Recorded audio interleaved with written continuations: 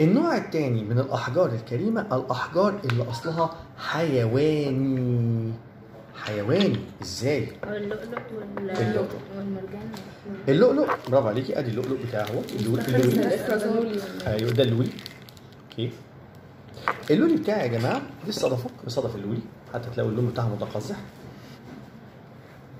اللي بيحصل كالتالي اللي أكل فيكم جندفلي بكلاويز أم الخلول منخلول عارفين المنخلول؟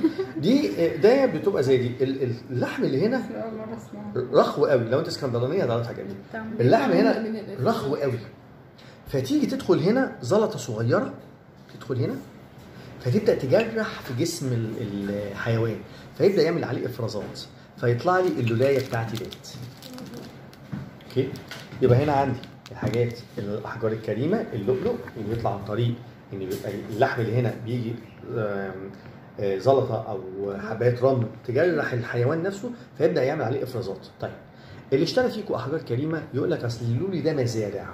يعني إيه لولي مزارع؟ في واحد اسمه ميكي موتو. ميكي موتو ده راجل ياباني. قال لك طب أنا النهارده لما بصطاد ال ال ال ال ال الحيوان ده بعمل فيه إيه؟ بفتحه أروح واخد منه اللولي وأروح راميه ما استفدتش منه. ده ممكن ده يبقى الفرخة اللي بتبيض لي بيضة دهب لو ربيته. بدأ يعمل كده بدأ يفتح. يروح شايل اللولايه من جوه.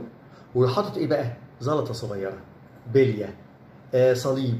آه تمثال بوزه أي حاجة تدخل جوه يبدأ يكون عليه إيه؟ ترسيبات. فبعد شهرين يروح ساحبها يبقى كلها إيه؟ متلألئة. فهنا ظهر لؤلؤ المزارع. إذا لؤلؤ المزارع فيه جزء طبيعي طبعا. يعني مش صناعي. يبقى أنا عندي بقى ثلاث أنواع من اللؤلؤ. طبيعي كامل. فتحنا اللؤلؤة وطلعنا منها وده زي الفل. اللؤلؤة قعدت هنا قد إيه؟ سنة 2 3 10 زي ما تقعد. مزارع. أنا حفزته. طبعا بيحطوا بقى إيه؟ لل- للولي ده للصدف ده. آه، آه، مسمدات حاجات تخليه يتكاثر كتير حاجات تخليه آه، يفرز ال- المادة اللؤلؤية دي كتير. يعني برضه بيحفزوه تمام؟ وطبعا دوت مش موجود في المحيطات بس موجود في البحار العذبة في الأنهار العذبة والمحيطات. المية بتاعتها مالحة. وأجمل لؤلؤ وأغلى لؤلؤ لؤلؤ الموجود في جنوب فرنسا في المياه العذبة بتاع تاهيتي واللؤلؤ ده لونه أسود وده نادر جدا. يعني يكاد يكون ما بيركبش غير مع الالماس بس من ندرته. تمام؟ طيب اللولي هنا بقى فلما أجي اشيل اللولي أنا عايز أعرف اللولايه بتاعتي ديت بقى. لولايه أصلي okay؟ أو اللولايه بتاعتي ديت آه، اتكونت آه، في البحر ولا مصنع؟ يعني إيه مصنع؟ يعني بجيب بلاستيكات وأديها طبقة لؤلؤية. يعني هو أصلا ما دخلش المية ولا راح المية ولا عارف حاجة خالص عنها. لو عايز أعرف بقى دي الصدفه دي أو اللولايه دي حقيقية ولا لأ؟ على سني كده واكحتها بالراحة. اكحتها على سني مش مش هقرص عليها عشان كده ممكن تقرص تجيبيها نصين لأن ده هنا ما عندوش صلابة. مش إحنا قلنا في الأول لازم يكون في صلابة؟ آه بس هنا ده نادر. فأنا ممكن أتغاضى عن موضوع الصلابة شوية. لما احكها كده أهوت جسمي اشعر يبقى دي إيه؟ فيها الكالسيوم اللي طالع من ديت فبالتالي يبقى دوت موجود اتعمل في البحر.